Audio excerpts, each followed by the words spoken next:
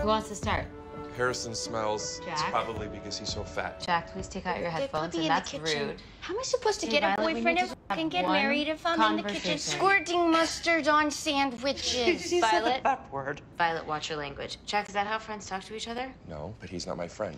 My best friend since preschool. You're not even qualified to live here with us. Of course he is. Your family's rented this apartment for all three of you, and you know that. So we could become independent. Harrison will never be independent or have a Harrison, job. don't listen to that. His parents are filthy rich and they pay for most of the rent. Otherwise, you wouldn't even make the cut. Jack. Harrison, I think that Jack might be a little agitated right now. And so he's saying things he doesn't actually mean, and I just want to find out how you're feeling about that.